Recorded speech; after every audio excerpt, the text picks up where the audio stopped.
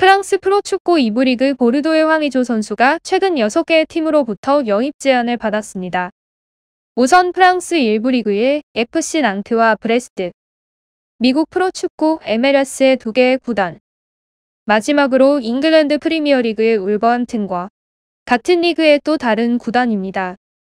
황의조는 2013년 K리그 성남 일화에서 데뷔했고 일본 제1리그 감바 오사카를 거쳐 2019년 프랑스 1부 리그 보르도로 이적하여 세 시즌 동안 29골을 넣으며 프랑스 1부 리그 아시아인 최다 골 기록을 갖고 있습니다. 여러 축구 언론의 보도에 따르면 황의조는 잉글랜드 프리미어 리그에 가겠다는 의지가 강하다고 합니다. 황의조의 나이는 만 29. 더 늦기 전에 현실을 따르기보다는 프리미어 리그에서 뛰는 그 꿈을 이루기 위해 새로운 도전에 나서는 황의조를 응원합니다.